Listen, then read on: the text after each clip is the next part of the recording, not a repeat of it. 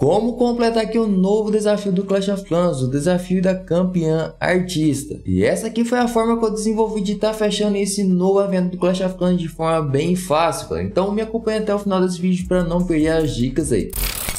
E antes de mais nada, se você chegou no canal agora através desse vídeo, não se esqueça de estar se inscrevendo aí para não perder os próximos conteúdos que eu estou sempre trazendo por aqui. É um padrão como de costume, quem já é inscrito está acostumado, vou fazer aí bem passo a passo, começar aqui e mostrar os pontos importantes para vocês. Depois a gente junta tudo, monta a estratégia aí para dar o pique nessa vez. Vamos começar aqui, dar o zoom aqui próximo dessas defesas. Vamos pegar essa defesa aérea com esse dispersor. Vamos utilizar para isso o feitiço de terremoto e dois feitiços de raio. Já é o suficiente, você vai ficar com um feitiço de raio na sua mão, daqui a pouco a gente vai utilizar ele. Primeiro aqui, terremoto e os dois raios, então já consigo passar por aquela parte. Agora é hora de dropar os super balões. Calma lá que é um pouquinho cadenciado e dessa forma aqui para não ativar a águia muito cedo, tá? Então vamos dropar aqui dois balões nessa defesa aérea, um super balão também na defesa aérea e mais dois super balões na torre arqueira para os balões virem em cima da torre inferno. Beleza? Então vamos lá, dois balões em super balão dois super balões ali, bem de boa. Então, dessa forma aqui, você vai conseguir pegar a defesa aérea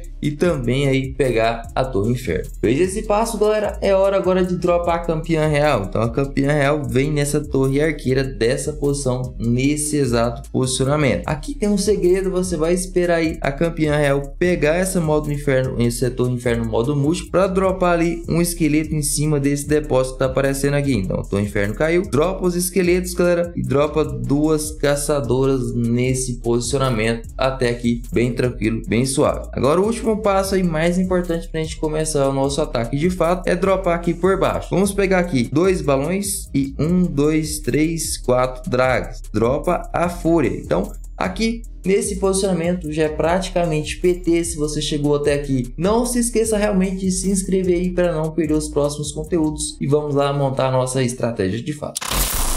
Partiu aqui para nossa execução. Vou um pouquinho rápido, mas está bem tranquilo, tá? Então não tem maiores dificuldades seguindo aí o que eu mostrei para vocês. Então caiu ali, bem de boa, caiu aqui também.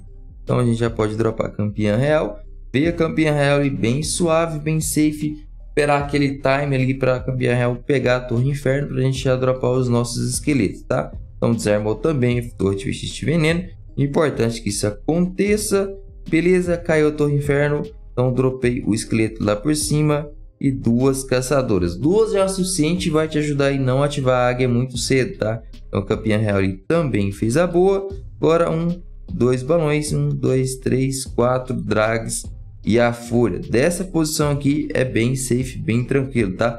Aquele feitiço de raio que sobrou, galera, pode usar para poder pegar essas arqueirinhas aí para não atrapalhar muito o seu ataque. Então, nesse posicionamento aqui, a águia vai cair e também o disseminador. Provavelmente, enfim, congela se precisar para não focar nos drags ali e que o drag conseguir pegar ele para não atrapalhar o restante do seu ataque, beleza? Agora que vem a parte boa, vamos dropar e pegar o centro de vila. Então dropa o restante das suas tropas nesse posicionamento. Congela ali a Inferno modo múltiplo, a Inferno single com o centro de vila.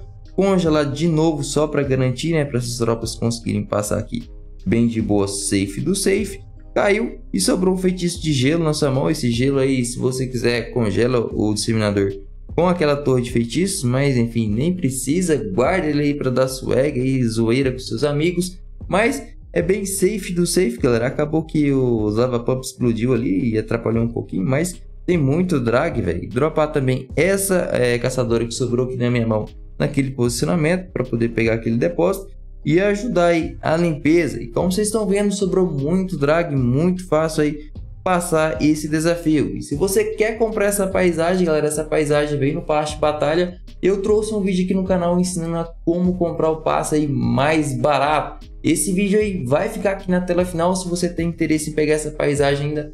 Dá uma conferida nesse videozão que tá aparecendo aí na tela, beleza? É isso aí. Valeu, falou e até a próxima.